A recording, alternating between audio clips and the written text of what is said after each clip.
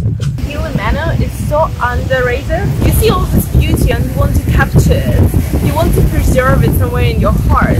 You're taking a picture or a video so you can take a look later. But like no video and no photo is going to transmit and like get across how beautiful this place is. If this is not paradise, I don't know what is.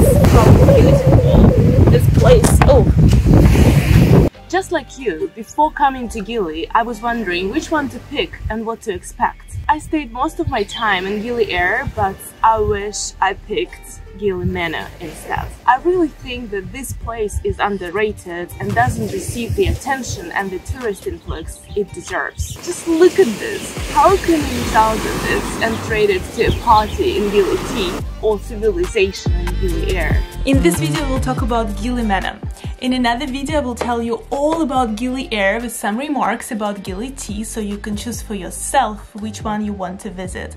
I will leave the link in the video description below. There is so much freedom in just allowing yourself to stay a night at a place that you liked even if it's completely against your initial plans. Without a shampoo, your creams and even spare clothes. I just made a sudden change in my plans because I fell in love with this place. It doesn't happen too often that I feel so connected to a place, so I thought, you know what? Let me treat myself as someone I care about. I was supposed to do just a day trip and come back to Gili Air at 5 yesterday, and now it's 8.30 in the morning and I'm still in Gili Meno. A boat ride from Gili Air will only take you 10 minutes or so and then you are here in this paradise.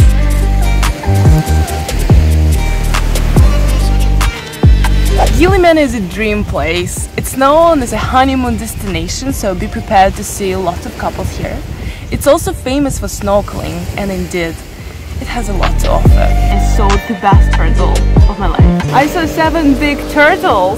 I'm so happy! Initially I thought it was some sort of a marketing ploy, like snorkel with us and you will get to see turtles, but I actually saw turtles! For some of them I had to, to swim a little bit out and some of them were just casually hiding at the shore. Like, I don't know, maybe one, two meters into the water, they were just sitting there and casually eating their seaweed. One of them was so brave, it just literally let me swim next to it. It was eating and I was literally on top of it. It was so cool. I wanted to pet it so bad, but like I didn't want to scare it. Today is my second day on the island and I snorkeled today as well. I saw quite some turtles. On the first day I saw more turtles, but still I saw, I don't know, around five or six turtles today. First day I saw more than 10 and one of them was huge. It was a gigantic turtle, bigger than what I saw on the first day.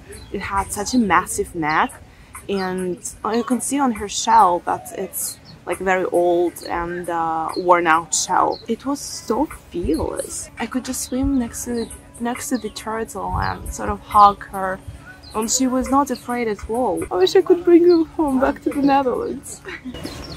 I went snorkeling on my own. I just paid 50,000 rupees and spent the whole day snorkeling. So I wouldn't recommend doing it in a group. It's expensive and you would have to respect schedule. This means that if you want to stay a little longer or if you're tired and if you're just done snorkeling for today, you can't.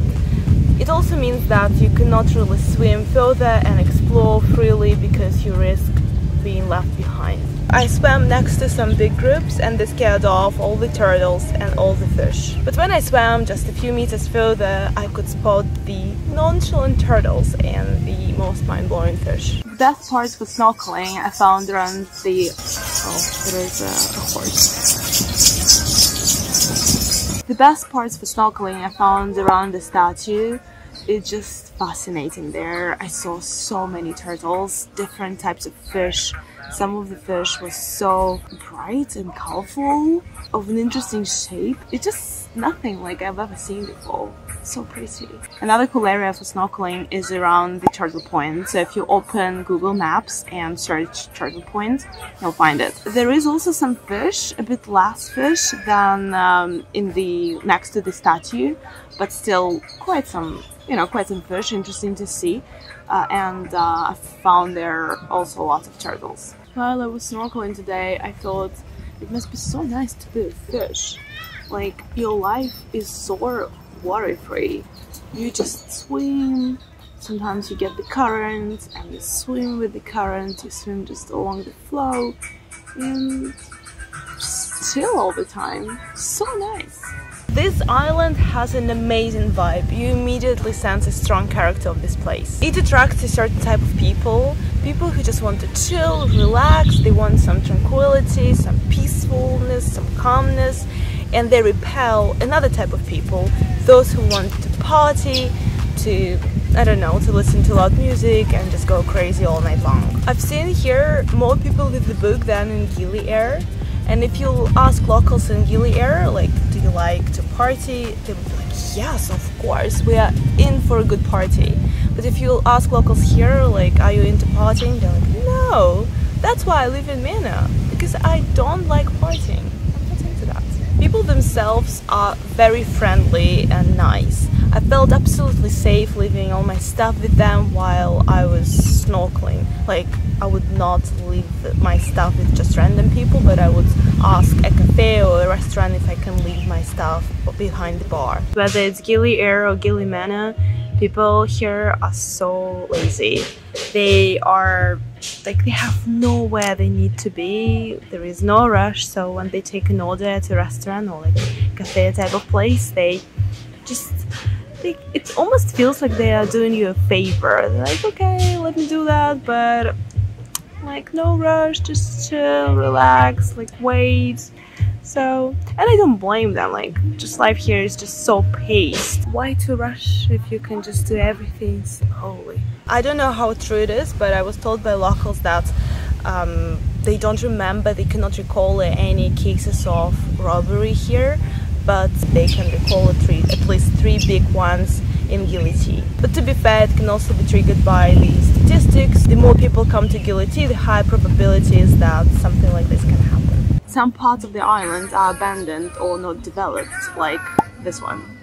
It was a really weird experience between Avia Resort and I think it's called Samsa Cafe. So it was very dirty and there was like no beach. I suspect there was some resort here before COVID because it looks like a swimming pool, well abandoned swimming pool. But now there is, it's quite dormant. You will still find some cafes and restaurants here but the choice is quite limited. So if you want a matcha tea no way. there is no bakery on the island, so bread choice here is also very limited. You have to order or bring strawberries from Lombok, and this goes for a lot of products, which also influences the prices. People don't grow anything here. I think one of the reasons is because water here is expensive, so you have to pay for running water. People are reluctant then to grow stuff in there. Well, everyone grows coconuts because coconuts are just for free, just everywhere. Gili Meno has a lake. This is what the lake looks like. Gili Meno offers the most beautiful and secluded beaches. You can just walk around the island and find spots with no people. You look to your left, you look to your right, and there is no one. I just don't get it. How the watercolor can be that insane. Unlike the turtle sanctuary, there is a man growing them there because they are very vulnerable to predators when they're little. He has a few different pools and when a turtle, I think 9 or 12 months old, like when it gets strong enough, then he releases them to the ocean. I got so lucky because I came on the day where the turtles got hatched. So I saw a one day old turtles. They looked so cute, so soft, so tiny and a little bit helpless and silly. I was surprised to see that you can even surf here in this part of the island. Locals are surfing here.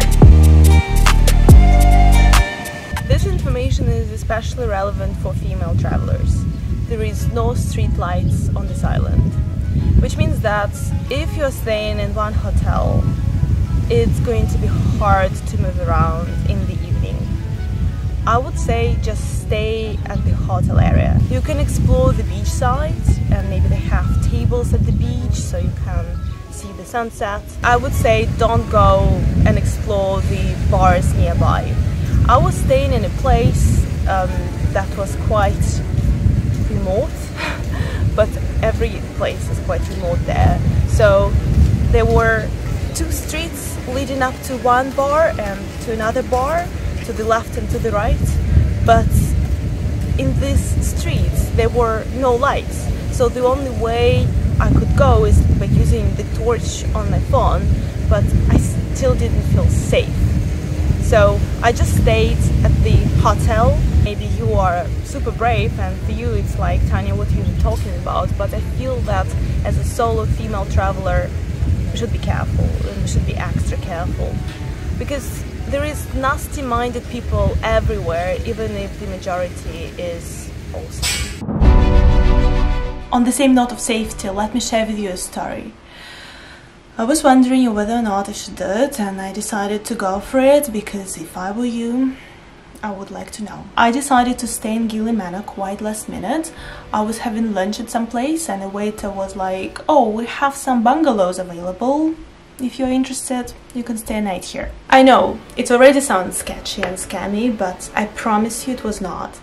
I checked that place on booking.com and it's been there for a few years and it had fine reviews. This hotel has a restaurant on the beach and in the evening I went there to read a book and I was joined by a man who was actually that waiter who offered me a bungalow in the first place. He was telling me crazy stories about how he was taking drugs with his boss who is the owner of this place and some weird stuff about his girlfriend. I did not like the flow of the conversation, I didn't like where it was going and soon went to bed. He cracked a weird joke. Don't leave tomorrow without saying goodbye, otherwise I'm gonna sleep by your door. Quite a nasty thing to say to a woman. I locked my door and went to bed. They have glass doors there covered with see-through curtains, so I could see that someone came to the door and stood there for maybe like 20 seconds. It was like 11, 11.30 in the evening. So finally, they knocked on my door and I asked what. They didn't say anything. I asked again what they wanted and they said, it's me, Mini, the name of the guy, but I already sort of knew that it was him. I said, and? What do you want? He did not say anything and knocked again. I asked again, what do you want? Then he said, um, uh, I'm closing the kitchen. Do you want anything from the kitchen? Obviously, I didn't want anything. We already said goodnight and we said we'll see each other in the morning. I was half asleep. I didn't want anything from the kitchen. Even if we assume that he indeed wanted to check out of politeness, he could have knocked once and asked me immediately, Excuse me, Tanya, do you want anything from the kitchen? I'm about to close it but it's not what happened. There was a couple staying in a bungalow in front of mine, but he did not check in with them if they wanted anything from the kitchen, which makes me think that he did not have good intentions. In the end, I said, I don't want anything from the kitchen, please go away, and he left. But I did not sleep well the whole night because the way they build bungalows there is they have open bathroom. There is also this open bathroom they like open bathrooms. It's always a little bit scary for me because I feel like someone can jump jump over, but yeah. And this is me looking like an, an, absolute mess. You can just jump over the wall and here you are, you're already in my room. And in this case, I couldn't lock the bathroom, there was no lock. And this guy, Mini, has actually built the place, so he knows all the ins and outs. And if you've ever been to Indonesia or to a similar country, you know that nights there are not quiet. There are a lot of insects, there's a lot of noises, and if you are scared, you're gonna interpret every single noise as a threat, as a danger. It's like, oh, is someone crawling? Is it like someone or just a gecko? I moved the shelf all the way to the door frame of the bathroom and I put a fridge on top. It was very heavy Thank God I exercise. It wouldn't save me, but it would at least create some noise if someone was trying to break in. Luckily, nothing happened. It makes me angry that as solo female travelers we always have to stay alert and question our actions. Was I too friendly right now? Was I too polite and kind? We always have to restrict and limit ourselves to a degree because if I were a man and assume I like the conversation, I could have just stayed longer and talked to this guy and not been worried if I was giving off the wrong signal. I am definitely not blaming myself for the actions of this man, Mini, but I did have thoughts like, was I too kind? Did he interpret my kindness as an invitation? People there, mostly men, because men work and women stay home, always ask you, hello, where are you going, how are you doing? And exactly because of men like Mini, it feels unsafe to just stop and chat with them. Because you never know how they're going to perceive it. And I often tend to come across as impolite, unfriendly, rude, and even unavailable because exactly of men like Mini that's I just don't want to give off the wrong signal.